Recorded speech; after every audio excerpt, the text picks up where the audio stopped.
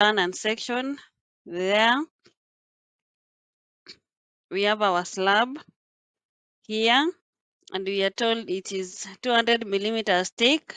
One is to one and a half is to three slab with 12 millimeters bar at 20, 200 millimeter center to center both ways.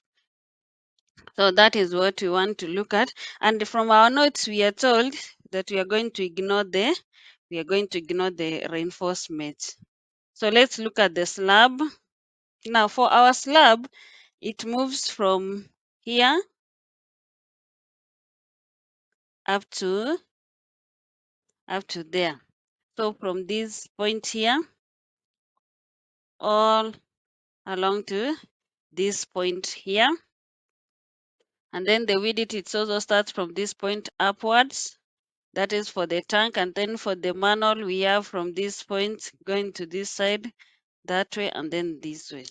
So the length from here up to here is 42 and 4700 and then the width from this point up to this point is 2500 and then for the manhole the length is 700 plus 1500 and then the width is 600 plus 150 plus 150 that gives us 900 so we book this the concrete slab in square meters so we, need, we only need the length and the width so 4.70 by 2.50 and then 0.85 by 0.90.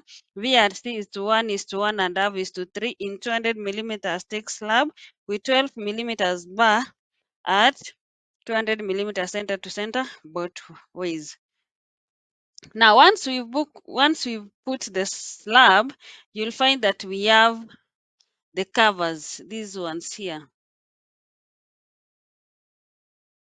Those ones. This one,